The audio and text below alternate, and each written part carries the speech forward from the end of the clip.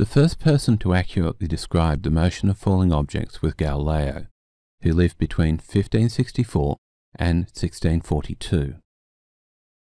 Up until the time of Galileo, it had been believed that objects fell at a constant speed after being released, and that heavier objects fell faster than lighter objects.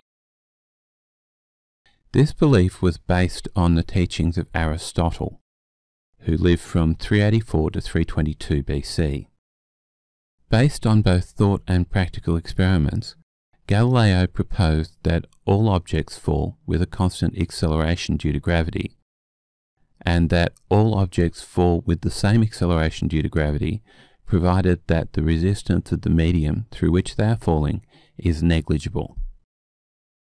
Galileo's most famous thought experiment involves throwing two balls from the top of the Leaning Tower of Pisa. He asked people to imagine two objects, one lighter than the other, and these two objects were tied together with a piece of string. The two objects tied together with the piece of string were dropped from the top of a tall tower, such as the Leaning Tower of Pisa. If, as Aristotle had believed, heavier objects fall faster than lighter objects, the string should pull taut as the lighter object slows the fall of the heavier object. However, if you consider the system as a whole, that is the lighter object and the heavier object tied together with a piece of string, that system of objects should fall faster than the heavier object alone, because by tying them together you've effectively made them into one object, which weighs more than the heavier object does alone, so it should fall faster. This is a contradiction, and according to Galileo, this contradiction means that the assumption that heavier objects fall faster than lighter objects must be false. Galileo also carried out practical experiments involving rolling heavy balls down inclined planes.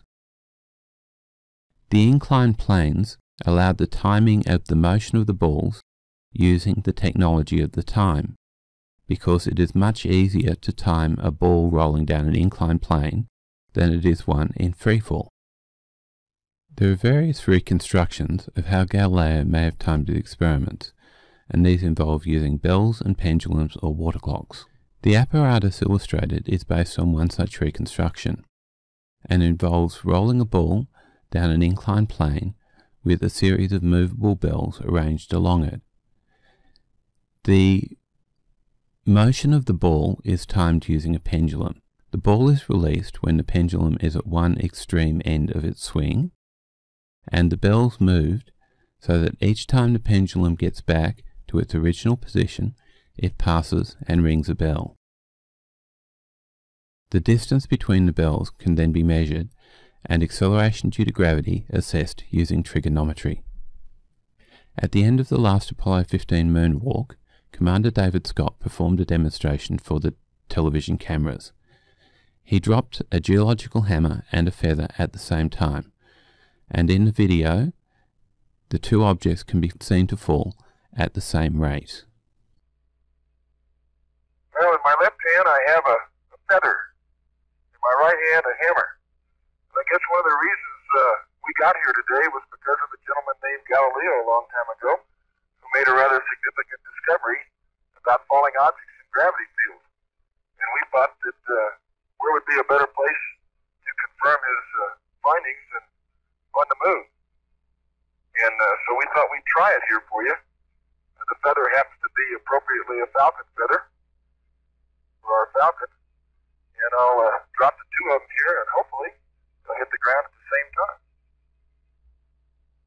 How about that?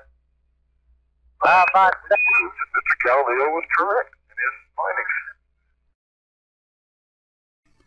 As the moon has almost no atmosphere, the resistance of the medium to the fall of the two objects in the video is negligible. The hammer and the feather can therefore be seen to fall at the same rate with the same acceleration due to gravity as was predicted by Galileo. Weight and mass. Mass is the property of a substance that exerts a gravitational force and is subject to gravitational forces. The strength of the gravitational force exerted either on or by an object is directly proportional to the mass of the object. Weight is the name we give to the force of gravity exerted by one mass on another mass.